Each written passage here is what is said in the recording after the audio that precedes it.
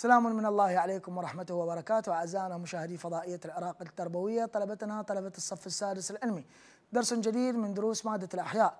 من فضائيتكم المتميزة دوما فضائية العراق التربوية. أعزائي الطلبة في الدروس السابقة تناولنا عملية تضاعف الحامض النووي DNA متى تحدث عملية التضاعف؟ عملية نسخ الحامض النووي ال RNA وهي تعتبر أولى خطوات عملية بناء البروتين. ننتقل وياكم اعزائي الطلبه اليوم إلى فقرة مهمة جدا ومادة مهمة جدا هي عملية ترجمة لبناء البروتين خلينا نجي نشوفها على سبورة ذكية ونلاحظ شكو موجودة عندنا من مفردات المنهج. اولا ما هي ما هي عملية النسخ؟ تعتبر عملية نسخ الحامض النووي أو تعتبر عملية الترجمة العفو الترجمه هي الخطوة الأخيرة في عملية بناء البروتين.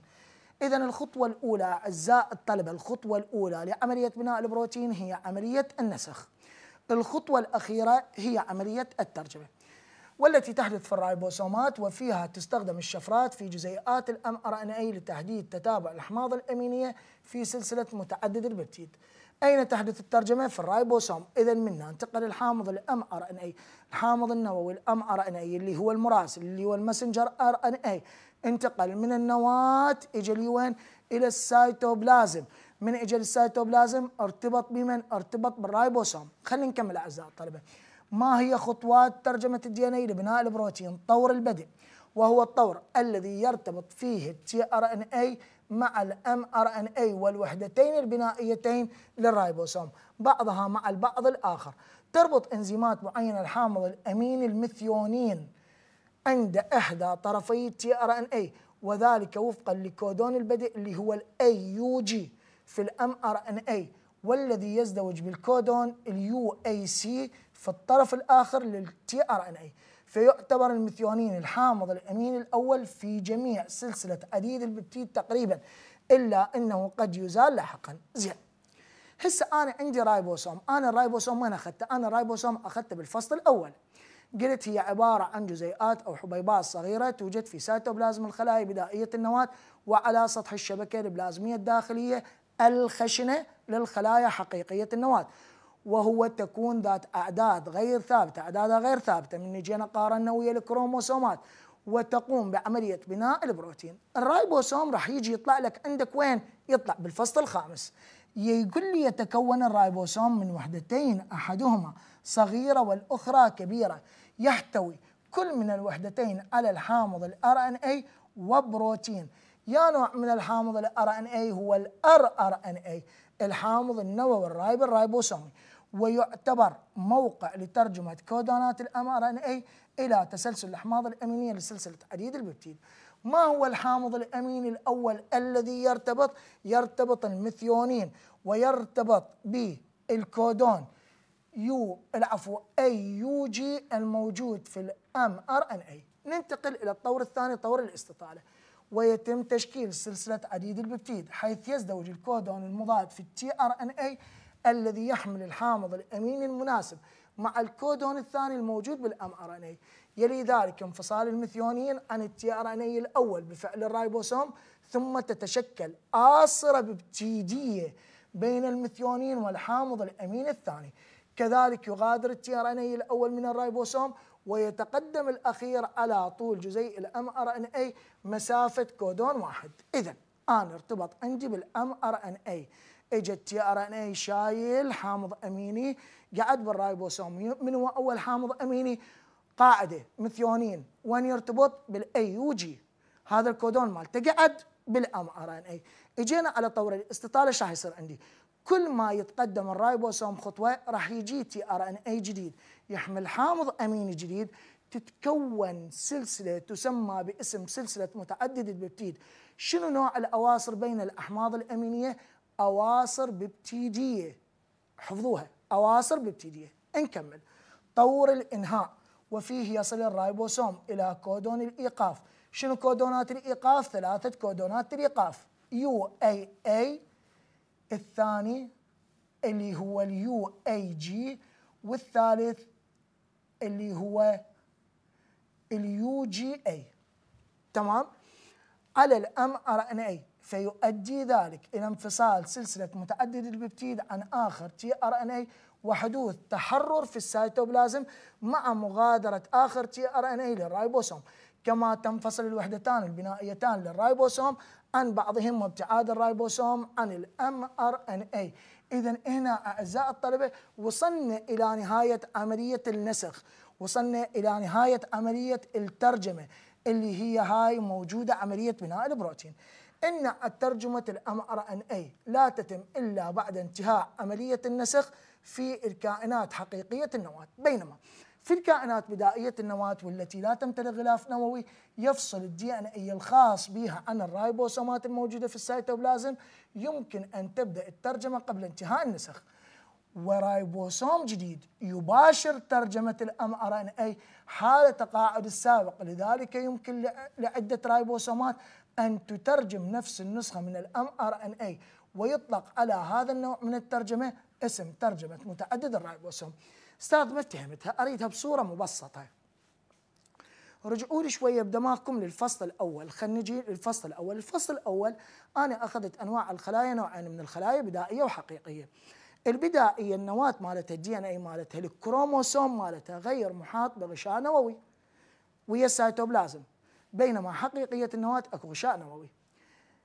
بدائية النواة الترجمة تكون متعددة الرايبوسومات شلون يعني؟ قبل ما تنتهي عملية النسخ تبدأ الرايبوسوم يترجم. بالإضافة إلى ذلك مو بس رايبوسوم واحد احتمال رايبوسومين احتمال اثنين احتمال ثلاثة احتمال أربع رايبوسومات تقوم بعملية الترجمة. شو نسميه نسميها الترجمة متعددة الرايبوسومات إذا أين تحدث الترجمة متعددة الرايبوسومات في الكائنات بدائية النواة التي لا يوجد غشاء نووي.